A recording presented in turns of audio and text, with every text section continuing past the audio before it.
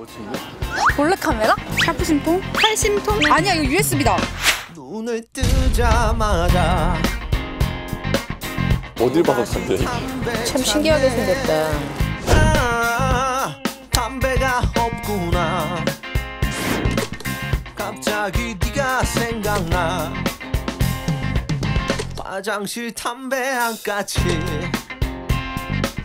만나게 피려다가 네, 많이 있어요.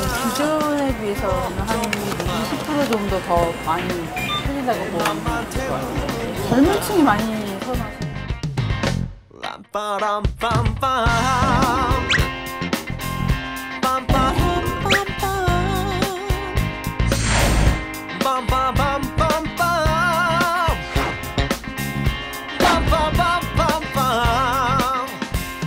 It is a moratorium until due diligence is carried out by the FDA concerning big tobacco companies like Jules Marketing to our youth.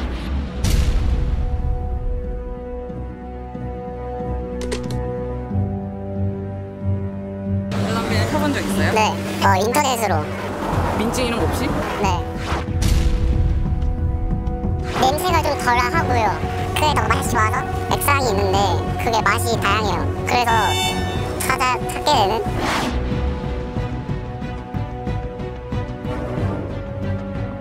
무슨 뭐 망고 향이다 뭐 사과 향이다 넣어가지고 청소년들이 이것을 마치 담배가 아니라 취미생활 뭐 이런 식으로 생각한다는 거죠 문제는 그 안에 발암 물질이 들어있고 독성 물질이 있어가지고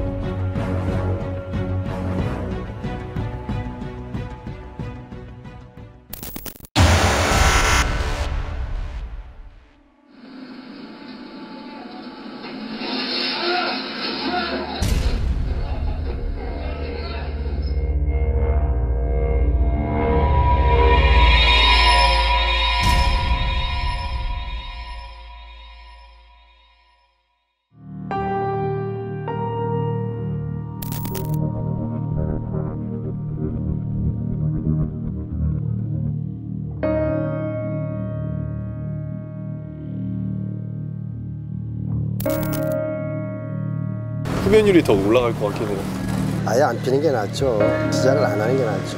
담배를 담배 아닌 것처럼 해서 피우면은 좀 애들한테는 어, 안 좋은 영향이 있을 것 같아요.